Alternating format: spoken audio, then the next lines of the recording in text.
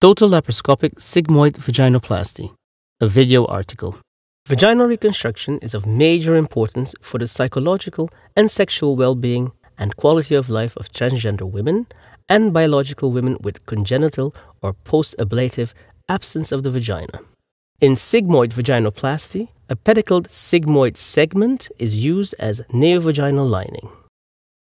Advantages are providing sufficient vaginal depth, self lubrication, and a lesser tendency to shrink. The disadvantages are the need for intra-abdominal surgery and bowel anastomosis with concomitant risks.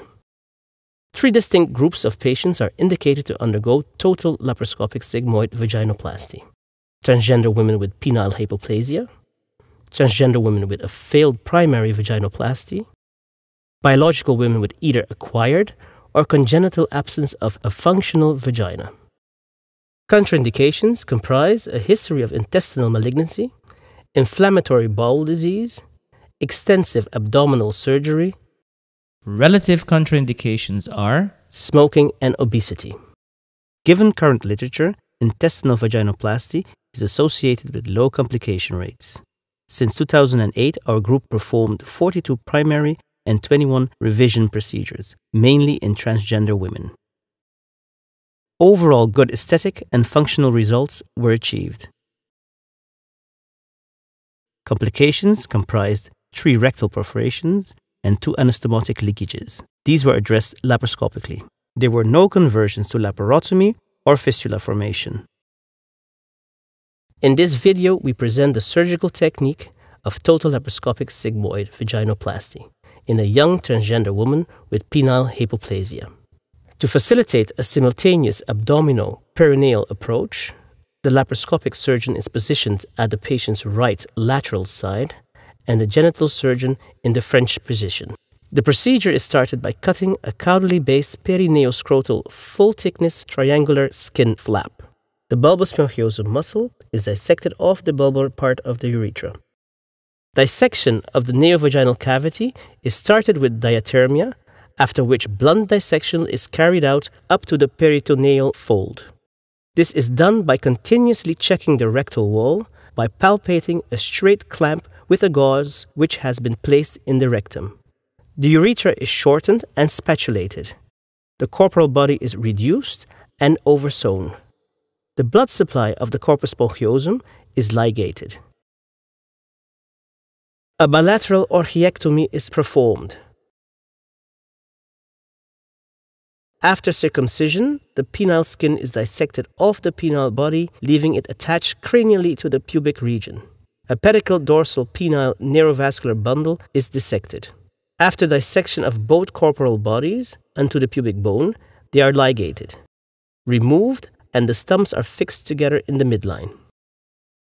After half an hour, the laparoscopic surgeon starts by placing three trocars and applying pneumoperitoneum.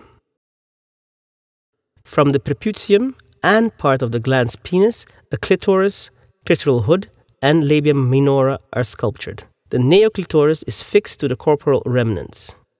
The sigmoid is mobilized from its peritoneal lateral adhesions.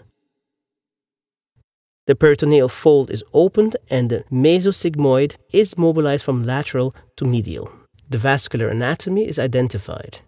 After stapling the distal sigmoid, the mesosigmoid is adequately transected to the base of the sigmoid arteries. The distal part is completely dependent on Drummond's arcade. A segment of approximately 6 inches is isolated and brought caudally. The vascular mobilization should allow for this descent. The distal sigmoid is checked for pulsations in the mesentery and transverse arteries ascending into the bowel.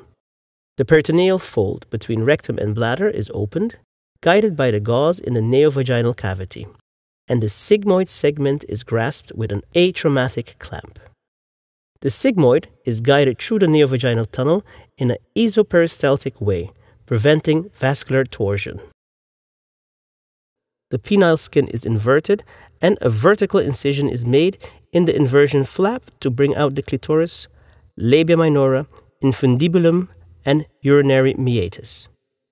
The distal suture line of the sigmoid segment is opened and fixed to the external vaginoplasty in an exaggerated interdigited fashion.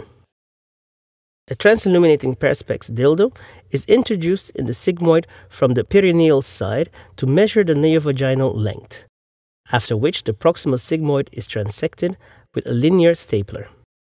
The neovaginal top is fixed to the promontory with non-resorbable stitches. Redundant scrotal skin is trimmed to form the labia majora. The procedure ends with a side-to-side intestinal anastomosis with a linear stapler through the umbilical trocar hole. Trocar holes are closed in layers. This is the preoperative image and direct postoperative result after total laparoscopic sigmoid vaginoplasty in a transgender woman with penile hypoplasia.